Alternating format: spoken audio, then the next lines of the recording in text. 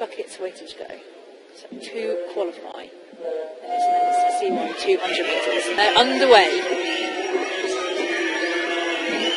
And it looks like a big start from Spain once again. Big, big stroke rate from Alfonso Benavides, but also going really nicely is Lubomir Hagara of Slovakia out in lane 8.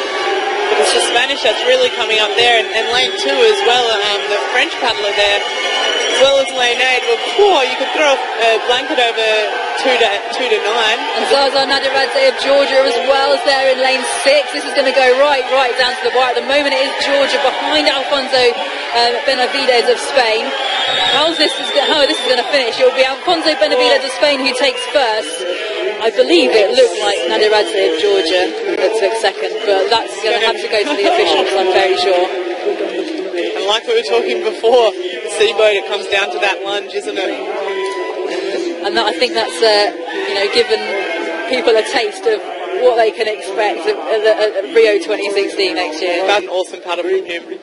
That was, Yeah, the Spanish yeah, that was just fantastic. He knew, the- yeah. he knew what he had to do. Yeah, sucking in the big ones there, trying to get his breath back.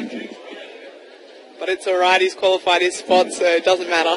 So there you have it, 39.245, the winning time for Alfonso Benavides of Spain.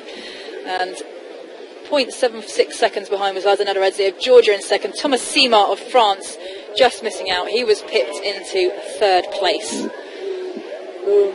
So an absolutely brilliant, thrilling race there. They will, uh, Spain and Georgia now booking their places. What, what power! You can already see uh, straight out of the blocks he had a lead and just kept the stroke rate up every step of the way and just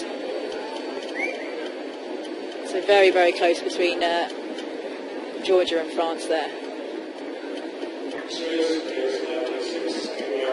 I'm always very impressed with the seafoam paddlers. I, like I said, I don't know how they actually stay in the boat, Yeah. let alone push it that fast. So, yeah, the power and the technique. Um,